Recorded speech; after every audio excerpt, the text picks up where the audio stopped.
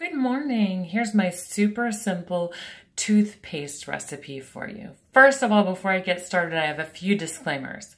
I don't have a zero waste toothbrush yet. I have a few of these toothbrush heads left and it's probably about time for me to replace this.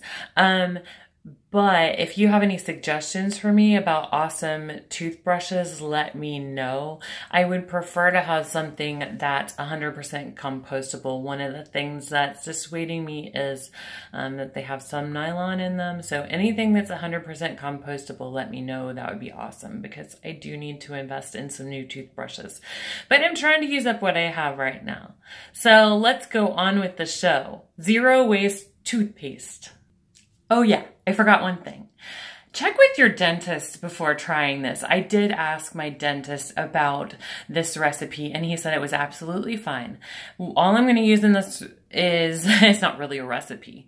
Um, all I'm going to use in this is baking soda and doTERRA peppermint essential oils. And I'm using doTERRA because doTERRA can be consumed orally and it is safe. So here's all I do. Super simple.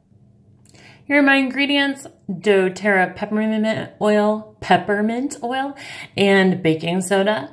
I just take the peppermint oil and drop a few drops in, and then I mix it up really well with my toothbrush, and then I'll put a little water on my toothbrush, and hold on. Whatever works for you. Turning this around, hi, and then I brush when you brush, um, one thing that I read is, I mean, don't act like you're sanding your teeth. Be gentle because that's your enamel that has to last you a lifetime. So concentrate on the areas that aren't super, if you have buildup or anything in your mouth. And then, um, yeah, be gentle as you brush around.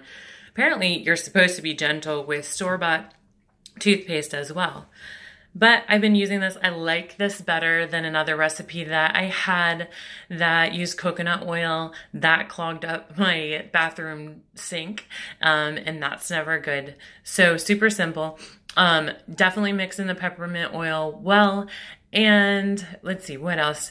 Um, you may have to reapply the peppermint oil as you get down in the baking soda. But I love simple solutions. So try this out if you don't have a zero waste toothpaste.